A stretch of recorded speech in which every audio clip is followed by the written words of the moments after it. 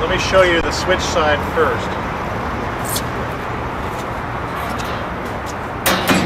We have our easy opening hoods with our automatic wind stop latch that latches the hood automatically in the open position so no wind can gust and unlatch it on the lineman.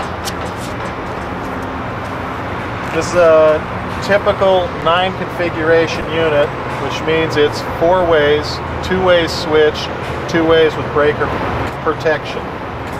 We have vacuum switches doing all the load interruption with a visible disconnect in series with it. This is the fuse holder for the uh, PT, we fuse the PT that provides control power for the breakers so we always have power so if we ever close the breaker into a fault it's already pre-powered by the PT.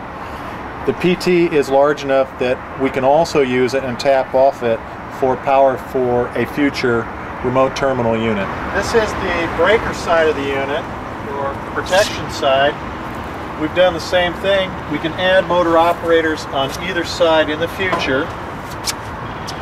And then we just have two breaker protected ways here. Just a simple open and close by the handles to open and close the breaker. Should you close in on the breaker, it is a trip-free mechanism that it will trip free if it's closed into a fault. If you note here, these are the sight glasses that a yellow rod protrudes out to when the breaker is tripped to show you that it has tripped. This is the control for the breaker. You'll notice we're using a Schweitzer 501-2 relay. What this is, is this relay controls the two breakers we have, that's why it's called the two.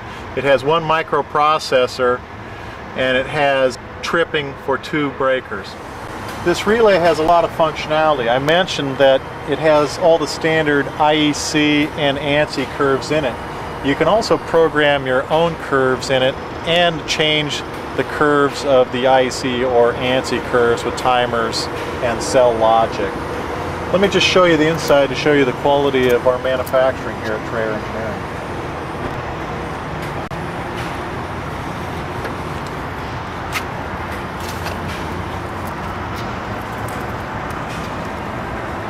We have our wires coming out of the tank, coming to shorting blocks for the CTs, fusing for our transformers, and then our capacitors for our stored energy for tripping the breakers. The other thing we've done, since this is a microprocessor relay, you need power to be able to program it. So what we set up here is you bring in 110 power if somebody's in the yard, your relay protection person can come in, plug 110 power to it, flip it from the operational mode to the test mode and the relay will function and everything in the breaker will function and you can go through a full functional test you can test the breaker you can look at the status. So it's very easy to use but it does have metering function so if you want to run fiber optic to it that's available